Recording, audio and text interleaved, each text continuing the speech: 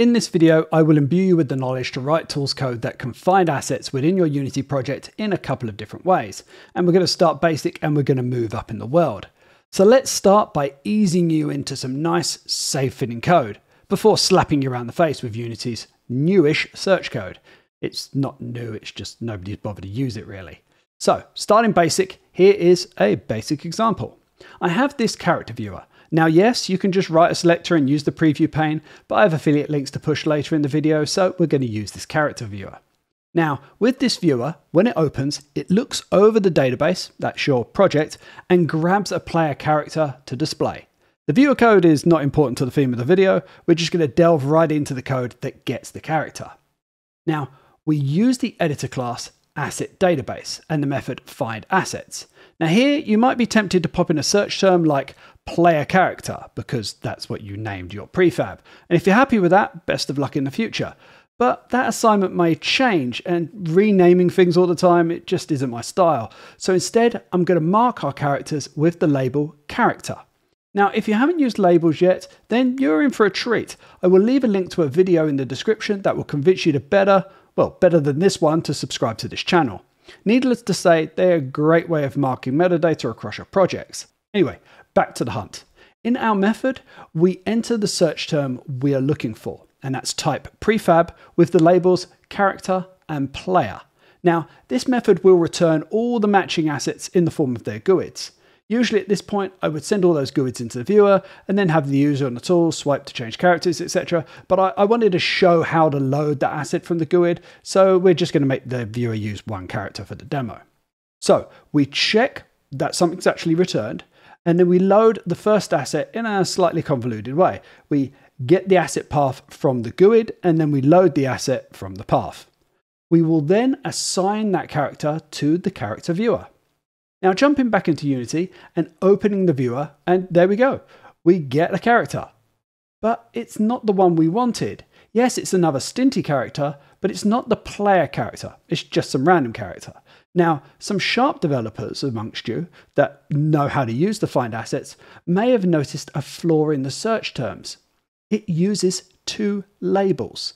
Now, I've seen forums talking about performing one search and then filtering the results for the second label, but trust me, that's not the way to go. Instead, here's a little magic trick for you.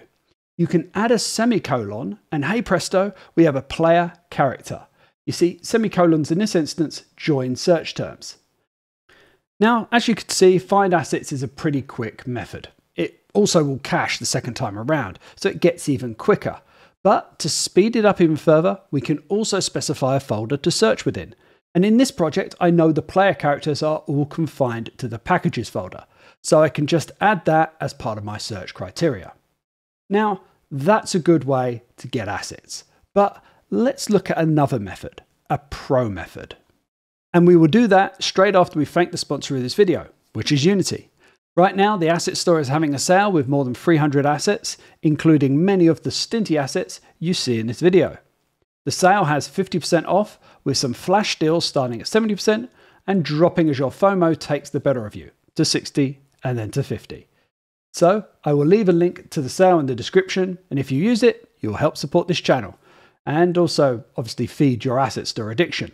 Now, back into introducing Unity Search Service, and I expect you might have stumbled on the search service before, with the little search bars above the views like the project view.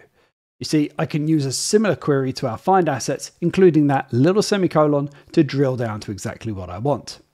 Now, for those that don't watch my videos, I did a whole thing about not using the basic object browser from the object editor field, and instead using the search attribute to launch the window like a pro. It works really well. So make sure to watch it after this one if you haven't already. I will leave a link in the description. Now, Let's delete our find code and we're going to start over. First, we will be using the request method of the search service class, with the first argument being the search term. Similar to before, but I'll be adding a p colon to specify that this search is within the project. If you are unsure what your search term will be, you can simply create and copy from the search window, as you see me doing here. Now, we will specify an action to be called when the search is completed, and we can inline what we want to do with the search results similar to before, but this time pulling the game object out of the search item that's found. Back into Unity, and we can see this runs, pretty much just as before. But one thing that should be noted is that the UI will actually appear before the search is completed, unlike the previous find assets method. This means your search could take a moment you could still get the UI in front of the user and not halt any other operations. Now it should be noted that there is an alternative to this method, which is not to take all the results at once, but instead take them over many frames. Now as this demo viewer only takes one character, it's not entirely relevant, but I wanted to show the code anyway, as if you're receiving a whole heap of results, staggering them into the UI or saving their process for tabs is incredibly useful we will first need to create a context for our search using the search service create context method. With our context, we request the search service to get the results.